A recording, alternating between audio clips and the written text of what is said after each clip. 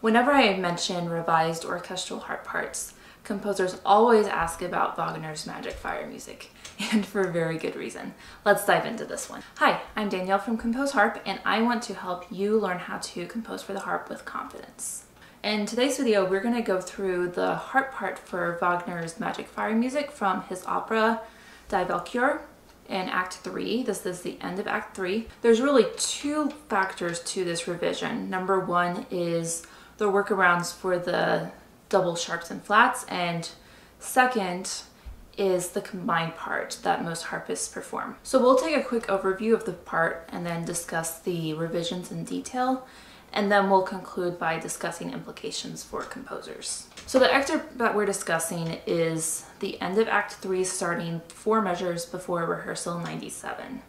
And this one is a notoriously chromatic passage that has baffled harpists for decades. So the original part is written in E major and is alternating between the two harp parts. And despite being split between two harps, they're still incredibly complex chromatic passages, double sharps, and things that do require revisions.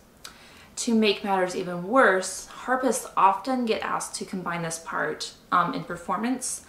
This is often due to the orchestra only having access to one harpist. So the revision that I use and that is fairly common is the one by Carlos Salzedo and this one has some very interesting revisions in addition to combining both the parts. So let's go through and compare them in detail. So in the beginning, the revised harp part starts out in F flat major.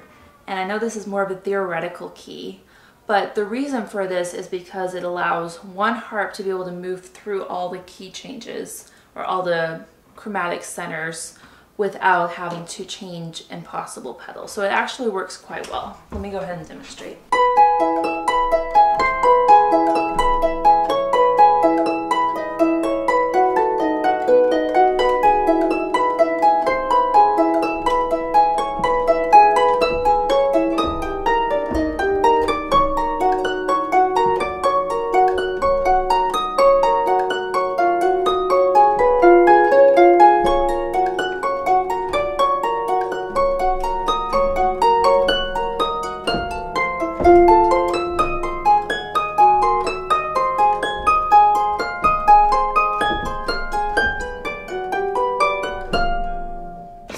Benefit of this revision is that it allows the harpist to move from F flat to G flat to A flat rather than E major to G flat to A flat, which would require more pedal changes. So in this revision, the harpist is essentially covering both of the harp parts as written, except the first section is enharmonic, which allows the pedals to move a little bit more fluidly. This revision also works around some of the double sharps right before rehearsal 97, which requires repeating the exact same string and doesn't work quite as well.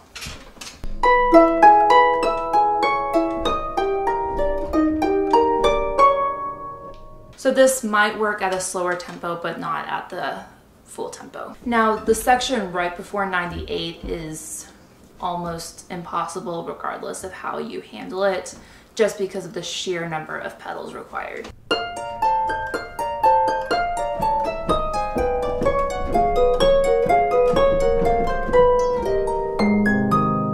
Now when you get to 98, this is where the two harp parts begin to diverge a little bit. They both are playing in 98 except in octaves. So the right hand in harp 1 is an octave higher than harp 2 and then the left hand harp one does ascending arpeggios, whereas the left hand in a harp two does descending arpeggios just to provide a little bit more depth. Obviously, this isn't possible when the part is combined into one, so we just do the best that we can here.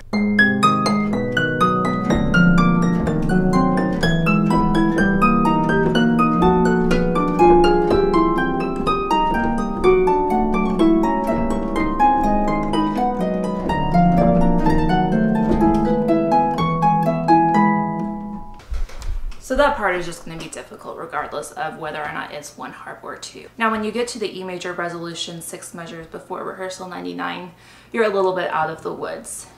Um, for the rest of the excerpt, the harmonic rhythm slows down to approximately one harmonic change per measure, so the pedals are far more manageable for the rest of it. Now with the revision, harp one is playing everything as written. There's a few parts where the harps are doubled in octaves like we saw before. Um, we just do the best that we can. So in the original part, the first harp will play one measure, the second harp will play the next measure, and so on, except for a few sections where you want both harps playing for the increased dynamic volume.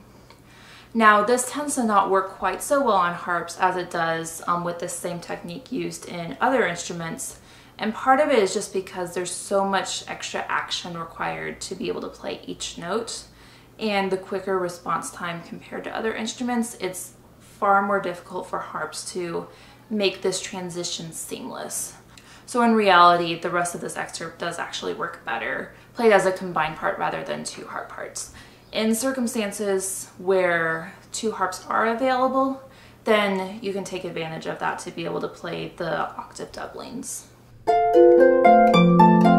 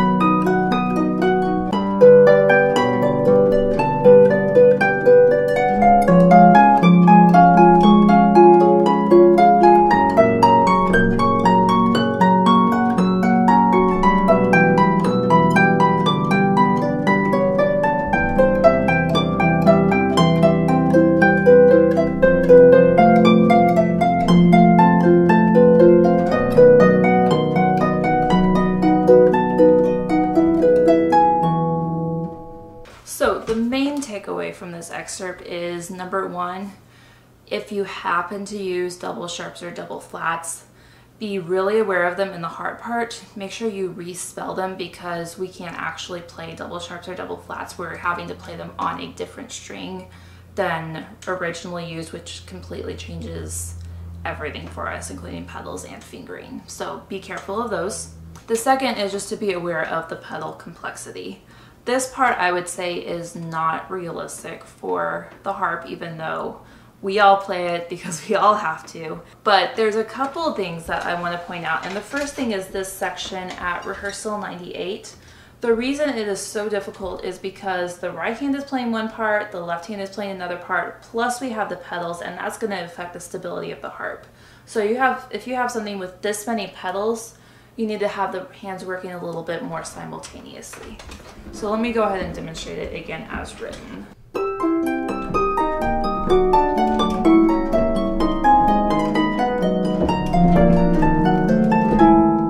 And if you see how much the harp is shifting, that's what is causing the balance issue.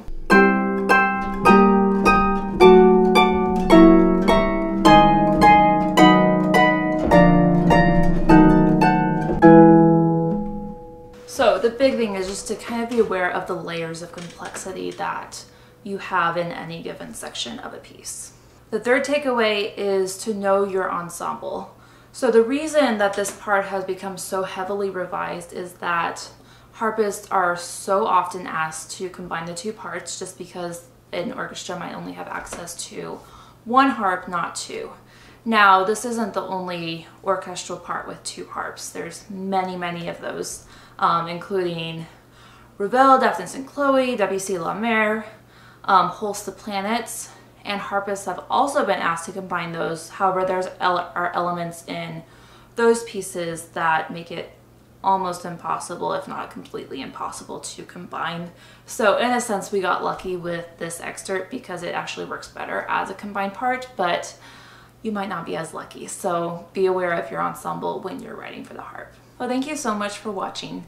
Um, if you enjoyed this video and you would like to study the harp score in a little bit more depth, I've put together a handout with my annotated scores. To access that, follow the link in the description. If you haven't already, please be sure to subscribe to my channel. I have more videos coming your way.